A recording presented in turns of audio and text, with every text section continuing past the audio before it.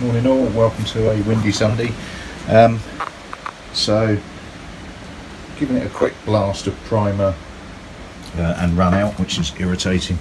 Um, I'm not sure how much you can see that, but I've got some pinholing on the areas that I've done. So, there we go. There's a good example of one. On the on the back there, there's a bit of a lip. Uh, let's just spin around a little bit. The sun really shows it actually. And a bit of a come on focus. A bit of a lip and some pinholing on the edge there. So uh, a bit more work to do. Get some bright there, get some uh, stuff made up on the on the lip. Uh, a little bit on the edge and a cut of extra bits that I haven't done anything with at all. Uh, that's just muck. Um, so yeah, before I waste time on it, I'm just going to give it a bit of a blast down, make up a little bit more. I also need some new primer anyway, so yeah, I think I'll make those good now and then disappear off and go and grab some primer. Cool. Interesting day. It just goes to show when you chuck primer on, it does show the bits that you've missed.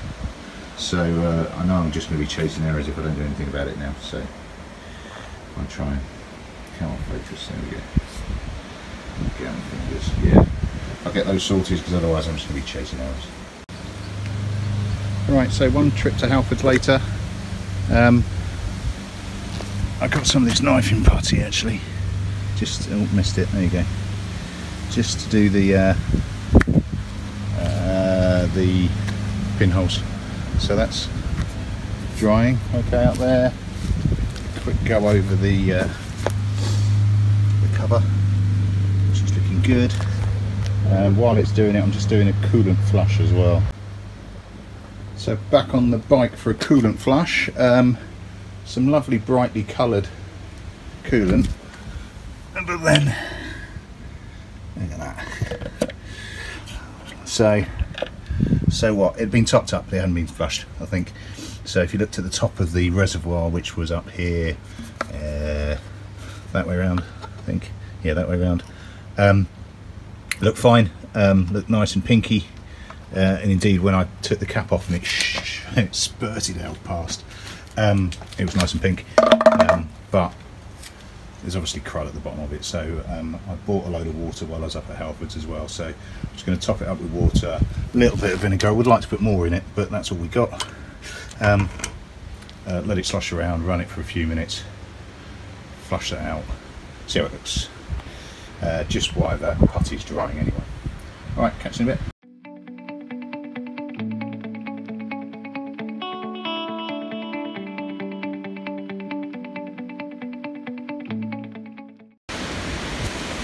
Right, so I'm not doing too bad, apart from the fact it's so fucking windy that it's just blowing shit everywhere, which is really annoying. But yeah, well, it's what you can do. Um, looking pretty good, I think. Um, I really wish I had somewhere to spray. I can't do it in the garage, there's too much stuff in there. Can't really do it out here today because it's blowing too hard. But I want to get it done really frustratingly it blew over my bit of cardboard and squished this. So that's going to look a bit shitty now but I'll let it dry off give it a rub down have a couple of coats see what happens. But yeah this is really irritating. But ho hum you do what you can. Right so I took that cardboard folding over as a bit of divine intervention. So I took a break let it cure decently and give it a rub down and that has gone a lot better. Um, did precisely the same with this. I gave it a rub down with a, uh, know, abrasive sponge I suppose. It's, it's supposed to be a, a, sanding pad but it's got some abrasion to itself. And then uh, went onto the tank and that's a lot better. Uh, I think I've probably got one more can or one more coat, sorry, uh, out of the can. I'll bang that on and then we'll start doing the uh, high coat stuff, I think. Uh, but actually, not looking too bad. Not looking too bad at all. Cool. Okay, so that's the stuff that I got. ProXL 2K cleaner, cleaner, clear. Um, they are only 200 ml cans, so they are tiny. Um, on purpose, thinking, well, if I use one, then because uh, obviously you have to activate it and it mixes the hardener with it. Um, I can get away with using one, you know, I can't use half a can because uh, once you've activated it, it needs using. Um, I'm going to use the other one though, because why not? But actually, it's not bad. It's not bad at all. And actually, that second can is probably going to seal it beautifully. But it sprays really well. Uh, I'll, I'll, I'll try filming a bit actually in a second, but it does spray really well. Having had to recover this slightly because of the flop over. It's looking good too. So let me get the other can. I'll activate it and uh, show a bit of spraying. Okay, okay, so that's the second one activated. So it comes with a little, uh, where's it gone? A little like a plastic base on it. Peel that off, and it's got a pin in the bottom.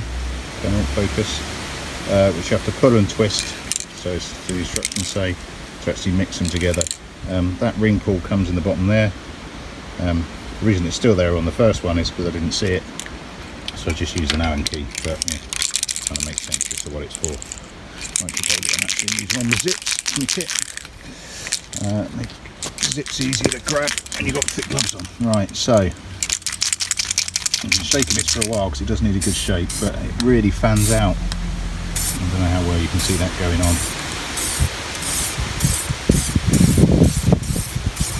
It really does fan out nicely. Like a proper airbrush spray.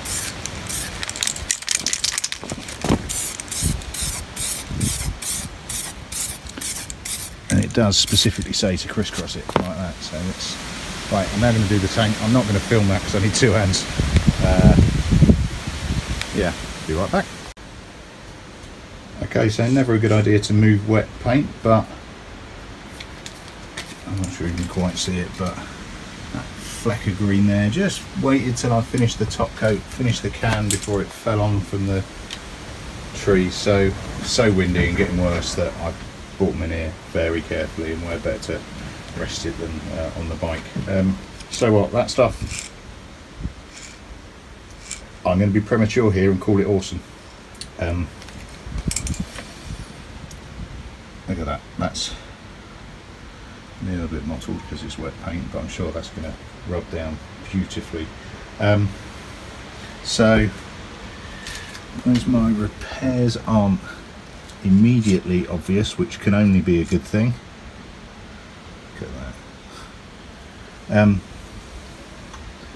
yeah, I'm chuffed with that. I'm really chuffed with that. Um, so, what does it say here? Where's the camera? Drying time 30 to 60 minutes. Can be mechanically polished after 24 hours. Look at that. Um, yeah, that's me for the day. I'm really quite chuffed, bearing in mind conditions are freaking awful. Um, I haven't really got anywhere to spray. Uh, I have got a little cupboard that I was using that I filmed in last night that um, overnight the tank took a dive, hit an empty can or hit an old um, oil that I've managed not managed to get rid of because of COVID and on anything else. It's in a milk bottle and goosed it completely uh, and sprayed it all over the floor. So I got all that to tidy up. uh, it's not really big enough to do a tank, but it's big enough to do the other bits I've done so far. But I really don't have the facilities for it. 100% um, hindsight, I probably should have stripped the, all the bikes out of the garage and it in here. But hindsight's a wonderful thing. Um, yeah, I'm chuffed for that. I'm going to leave that for uh, at least 24 hours, probably 48, and let it do whatever it's doing um, and then uh, uh, have a look up as to whether or not I just um, I bought some rubbing compound uh, while I was up at Halfords uh, whether or not I just rubbing out um, uh, rubbing compound it or whether or not I give it a bit of a thousand down first. But no, I'm really quite chuffed with how that looks so far.